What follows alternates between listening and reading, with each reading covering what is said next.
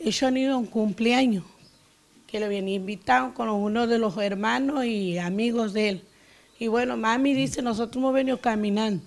Yo digo que para mí a él lo han baleado porque iba con las camperas de Mitre.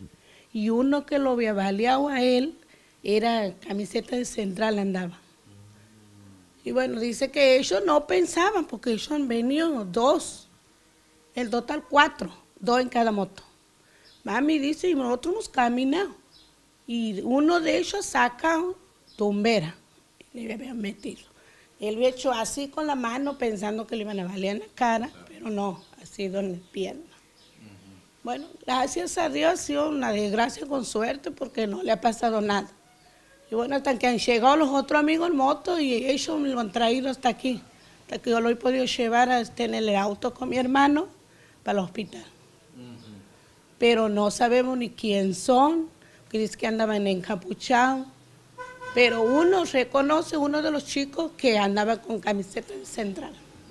¿Es la primera vez que le sucede esto? La primera vez que lo sucede esto a mis hijos. ¿Qué edad tiene? 17 años. Menores. Y el otro hermano, bueno, mayor de que él, que han ido con ellos. ¿Él sabe ir a la cancha o algo por el estilo? Sabe ir a la cancha, ellos son fanáticos de, de Mitre. Ellos siempre van, pero jamás le ha pasado esto.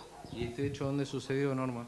Y esto ha sido ahí frente de IPBU, que habían salido. Yo digo que ellos lo han venido siguiendo, porque lo que dice el chico mío, el grande, mami, dice, se me hace que lo han venido siguiendo. Como ellos venían caminando y los que lo han valido venían en moto.